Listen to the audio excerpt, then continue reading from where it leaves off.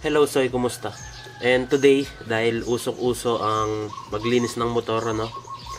Halos nakikita ko sa mga motorcycle group, uh, nagje-general cleaning. Ah, lilinisan ko itong carburetor ng Mio jet ski ko. Tara, linisan na natin. So, para matanggal natin yung carb, kailangan natin tanggalin tong compartment.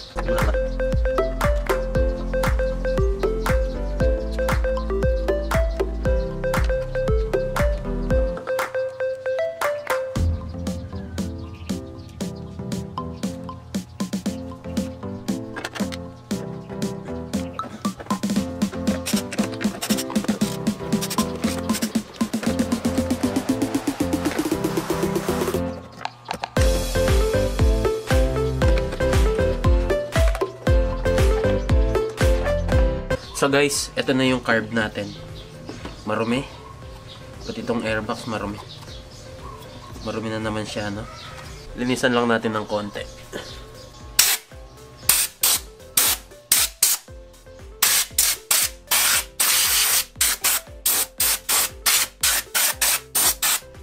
Ah, sa service manual, nakasulat na kailangan pang tanggalin itong, itong gas tank at airbox para matanggal itong carb. Pero ako, natanggal ko na to nang hindi tinatanggal tong airbox. Tatanggalin muna natin itong choke cable. Tapos, kapag nahugot na natin yung carb, tsaka natin tatanggalin yung fuel hose at gas cable. Ito ng choke cable. Okay. Tapos, pwede na natin ilusen yung clamp at yung clamp sa manifold at sa airbox.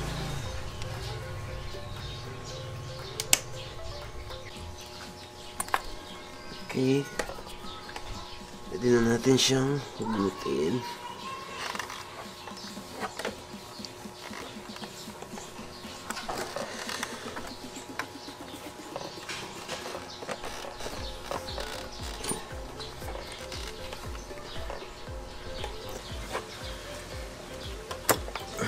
Yun.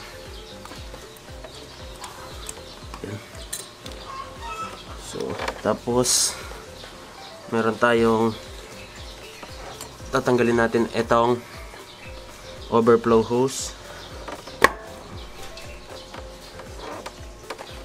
Itong fuel hose. At itong gas cable.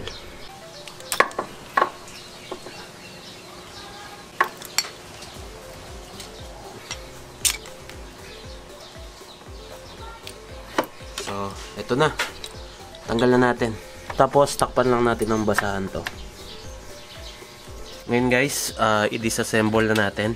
Uh, una natin tatanggalin itong piston at diaphragm niya. So, meron tayong dalawang screw dito. Drain na muna natin yung nati na iwan na gasolina.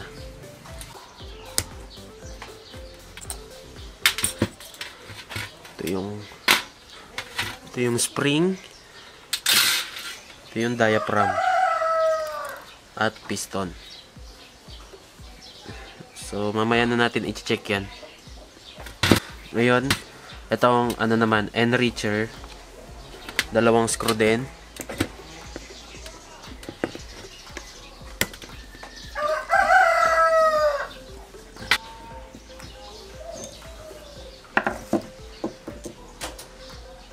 Meron din siyang spring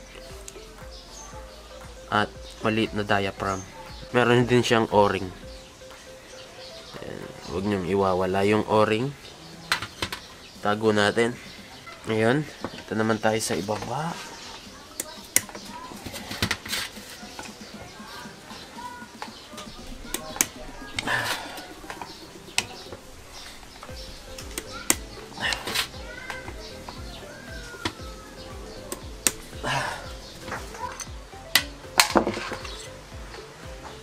So, ayan.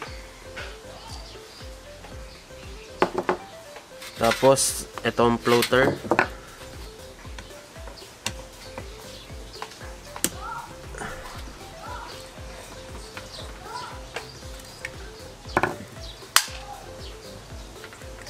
At, itong needle bulb. Ayan, maganda pa yung needle valve niya, wala pang hukay. So, next natin tatanggalin itong main jet at pilot jet. So, gagamitan lang natin nito ng flat screwdriver. Pilot jet muna.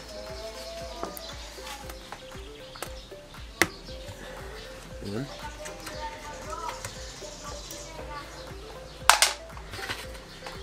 Main jet.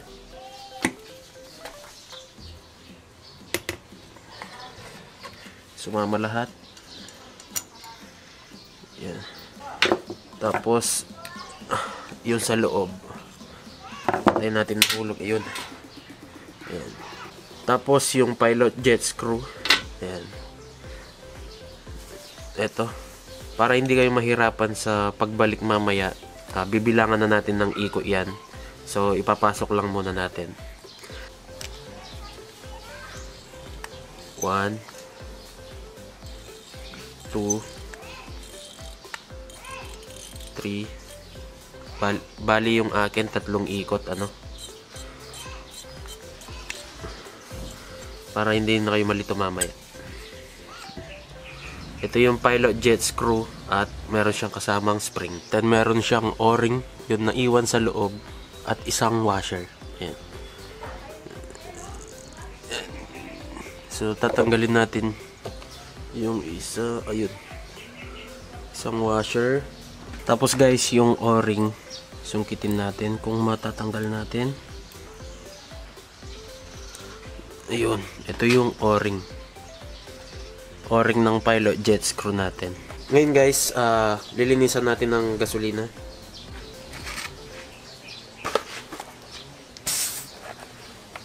Ito yung gas.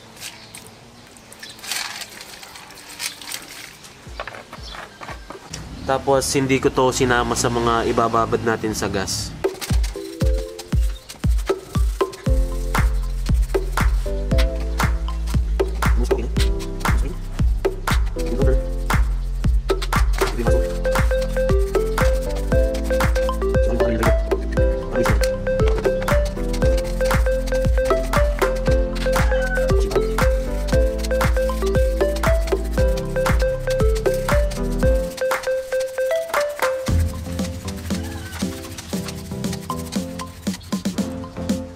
Babadulit natin yung mga jet ng malinis na gas.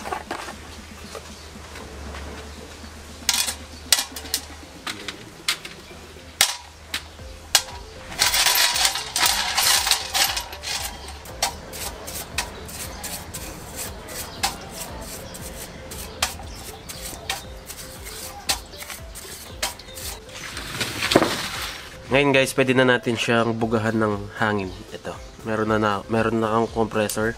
Bubugahan natin ng hangin lahat ng mga air passage.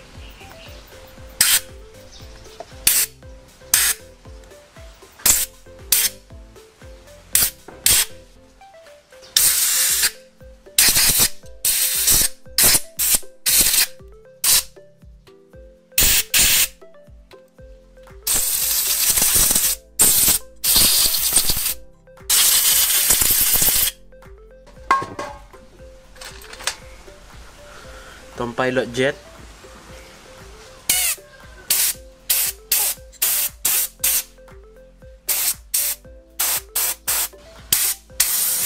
Tapos guys, itong main jet. Itong needle jet holder.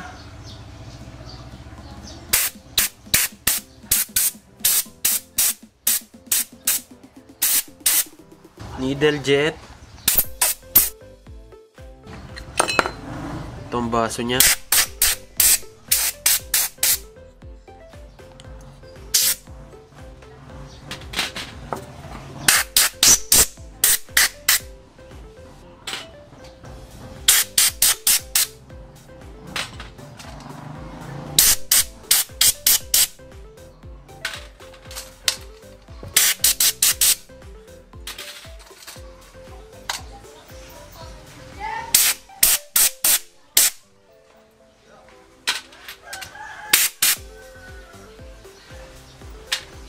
Okay. So, ngayon, pwede na natin siyang i-assemble. Una nating ilalagay itong needle jet, yung payat na part, ito yung sa itaas ng carb. Pasok lang natin dito.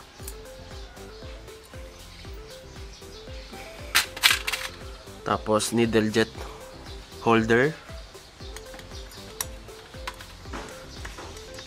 At itong main jet.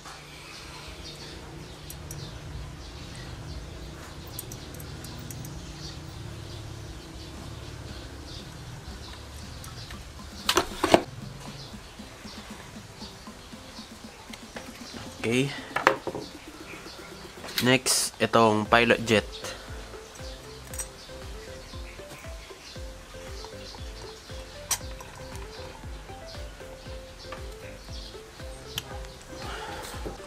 Tapos itong float at needle valve. Ay, ito needle valve ilalagay natin sa float. Ayan. Ayan. Ayan, perfect pa rin yung pagka-cone niya. Ayan, kaya okay pa to.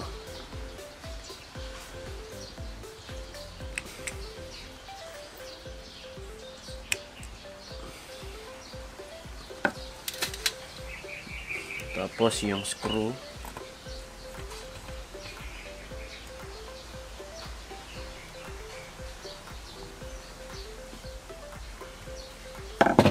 At pwede na nating isara.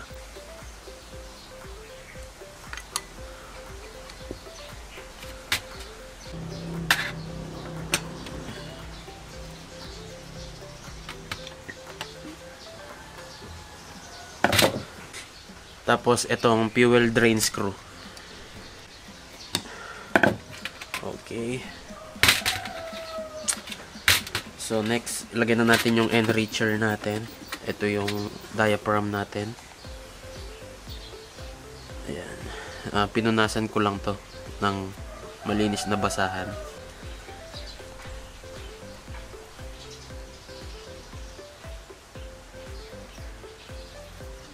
Tapos yung cover at yung o-ring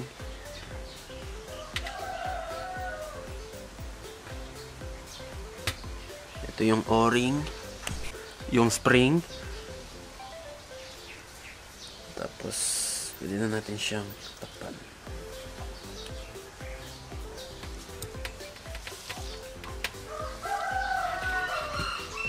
Tapos, yung pilot jet screw na dito nakalagay. So, ito yung pilot jet screw natin. Kailangan natin ng spring. Metal washer. Metal washer. At yung o-ring. Yan. Bali, ganyan yung setup niyan.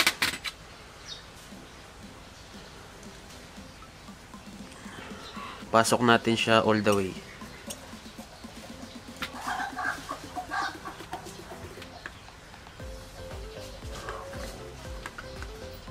So, yung kaninang binilang natin na tatlong ikot, ah papaiki, papaikutin natin siya ng palabas ng tatlong ikot. Pero, sa service manual ng Mio Sporty, ang recommended na ikot is 2 and 3/8. Kasi pero ito ng akin, ah, mas maayos yung minor niya kapag tatlong ikot. Luma na kasi yung motor ko. So, titignan muna natin siya sa 2 and 3/8 na standard. So, 1 2 tapos 3/8 1 4 3/8 Next, itong needle natin, piston at diaphragm. So, i-check nyo muna yung diaphragm kung meron siyang butas. Yan. Kapag may butas yan, kailangan ng palitan. Ang akin, mukhang wala naman. Dahil hindi nyo mapapatino yung under ng carb kapag may butas to. Tapos, hindi ko na rin kinalas yung ano natin, yung needle natin kasi hindi naman siya marumi. At dapat guys, ah, smooth yung pag-slide ng piston natin sa carb. Ayan, smooth. Kapag mahigpit yung piston natin, ah, kailangan mo ng palitan to. Kasi hangin lang yung nagpapaangat nito eh. Meron naman tong markings. Ito yung sa diaphragm, ito yung sa carb.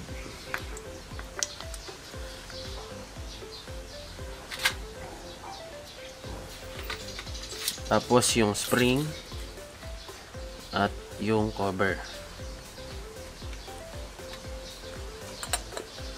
Tapos guys, itong vacuum hose holder, di ko na ilalagay kasi iba na yung pwesto ng vacuum hose ko. Hindi na to nagagamit.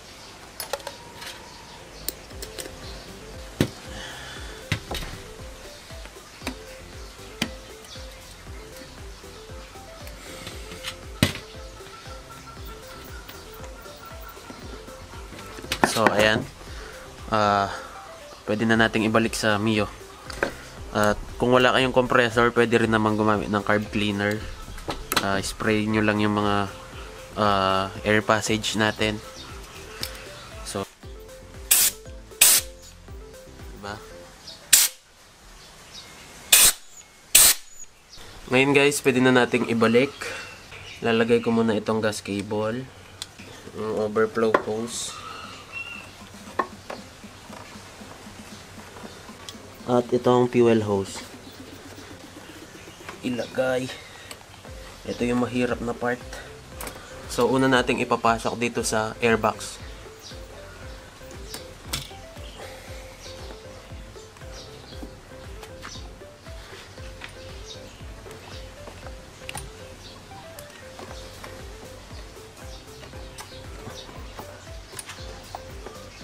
Yun. Pasok na siya sa airbox ngayon. Itutulak natin siya papunta sa airbox para pumasok itong sa manifold.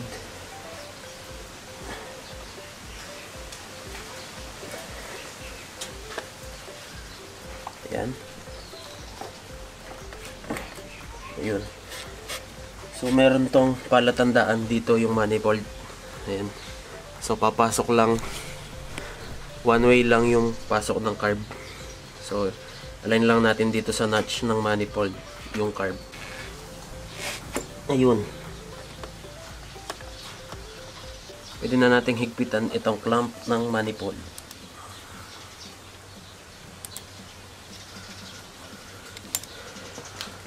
Tapos siguraduhin na pasok yung carb natin all the way sa manifold.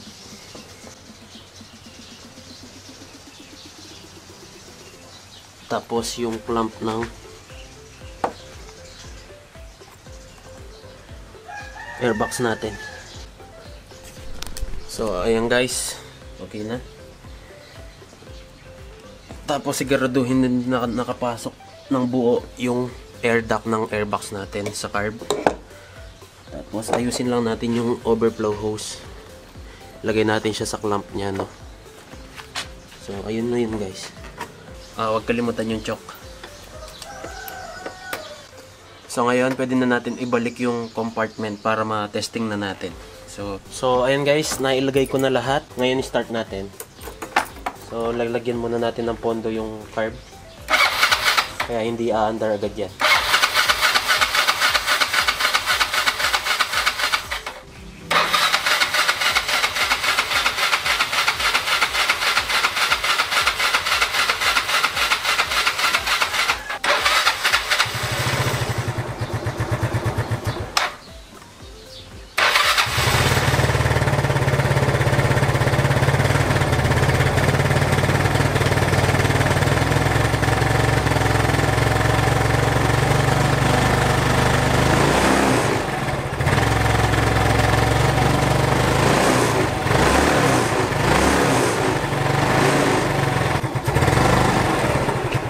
Guys, ano?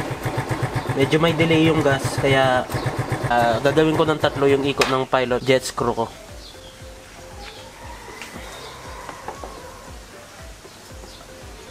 Pan. Diba? Ayan. So, ayan guys, ah, tatlong ikot ng pilot jet screw. At yung idle hindi ko na in-adjust kasi maganda na yung minor niya.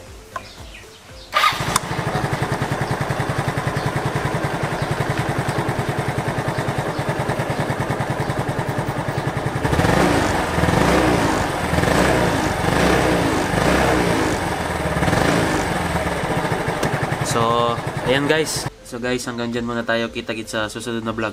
Tapos, yung winner ng action cam natin, ah eto siya.